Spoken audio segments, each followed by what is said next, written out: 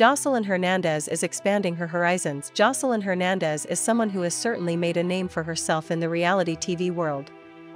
Overall, she has proven to be someone controversial. She has beef with a few people, and it has led to some infamous fights.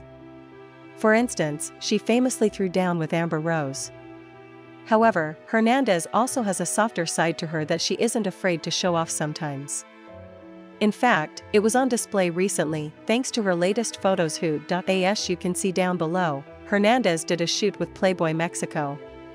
The reality TV star was even on the cover of the publication. She did a full photo shoot for Playboy and in numerous photos, she could be seen completely topless.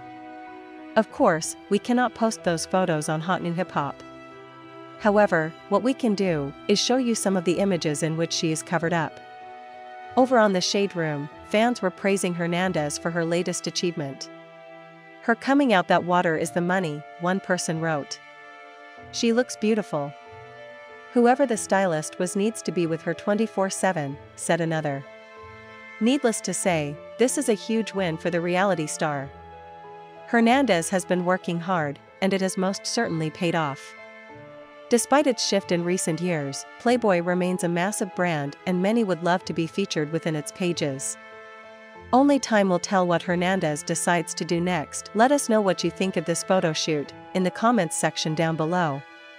Did you expect Joseline Hernandez to do something like this? What do you believe this means for her career moving forward?